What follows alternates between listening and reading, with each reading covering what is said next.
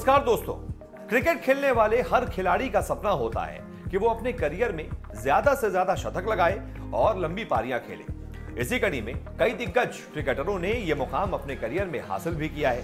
इन बल्लेबाजों ने अपने करियर में कई बेहतरीन शतक लगाए हैं और टीम को जीत दिलाई है। शतक तक पहुँचने के लिए किसी भी क्रिकेटर को काफ़ी मेहनत करनी पड़ती है। कई बार तो ऐसे भी मौके आते हैं जब खिलाड़ी नब्बे से लेकर निन्यानवे के बीच आउट हो जाते हैं, जिन्हें हम मॉडर्न डे क्रिकेट में नर्वस 90 भी कहते हैं।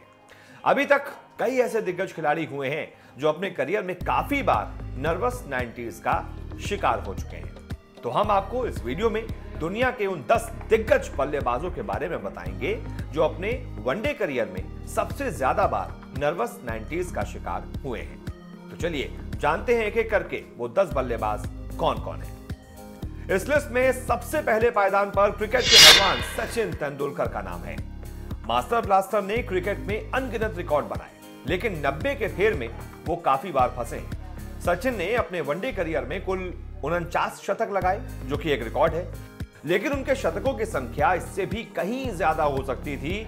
लेकिन, वो कहते हैं ना, नर्वस नाइन्टीज का शिकार होकर वो वर्ल्ड रिकॉर्ड नहीं बना पाए।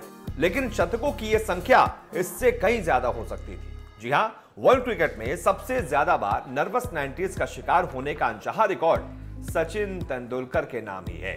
वो अपने करियर में कुल 18 बार नर्वस नाइन्टीज का शिकार हुए हैं। सोचिए, अगर वो 18 बार में से 15 बार शतक लगा देते या 16 बार शतक लगाते थे तो शतकों की संख्या कहाँ पहुँच जाती है उनकी? कुल मिलाकर 115, 116, 118 तक वो शतक लगा सकते थे। फिर उसके पास तो किसी का भी पहुँचना लगभग नामुमकिन हो जाता। खैर आगे बढ़ते हैं। खैर आगे बढ़ते हैं और दूसरे पायदान पर इस लिस्ट में है न्यूजीलैंड के सलामी बल्लेबाज पूर्व सलामी बल्लेबाज नाथन एस्टल उन्नीस से लेकर 2007 तक नाथन एस्टल ने कीवी टीम के लिए कुल मिलाकर 223 वनडे मुकाबले खेले।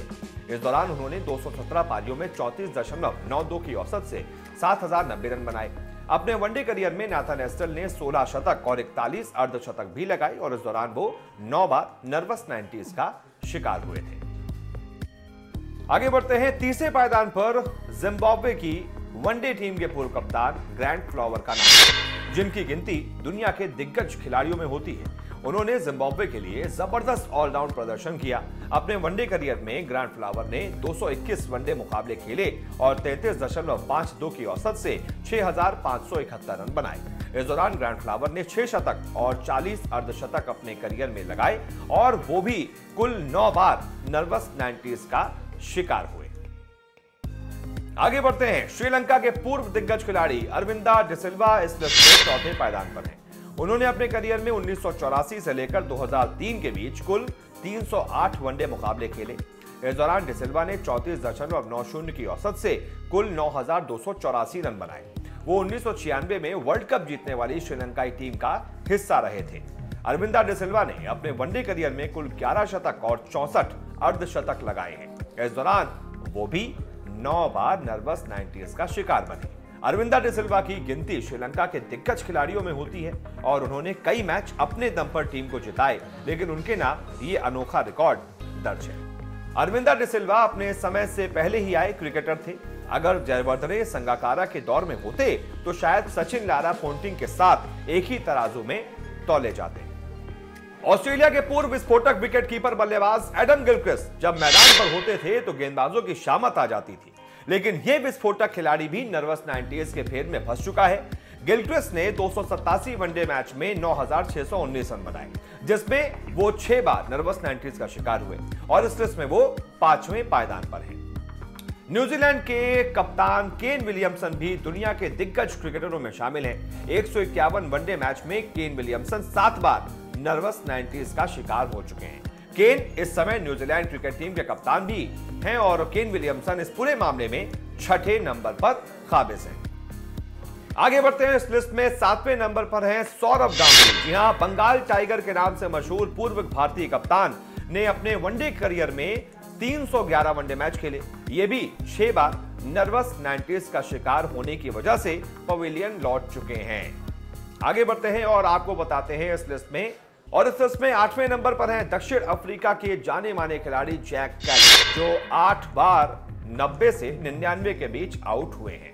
उन्होंने 328 वनडे मैचों में 11,528 रन बनाए हैं। जैक कैलिस आठ बार 90 से 99 के बीच आउट हुए हैं। जैक कैलिस को विश्व का सबसे महान ऑलराउंडर माना जाता है। कैलिस के नाम बहुत सारे रिकॉर्ड हैं। 2013 में वो वर्ल्ड के एकमात्र क्रिकेटर रहे जिसने एक साल में 11,000 से अधिक रन और 250 विकेट लिए थे।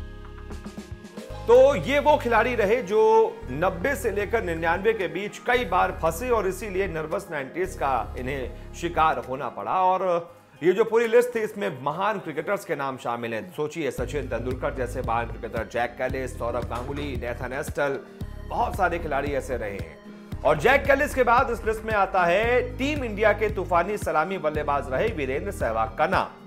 सहवाग की पहचान बल्ले से तूफ़ान मचाने बल्लेबाज सहवाग की पहचान बल्ले से तूफ़ान मचाने वाले बल्लेबाजों की थी।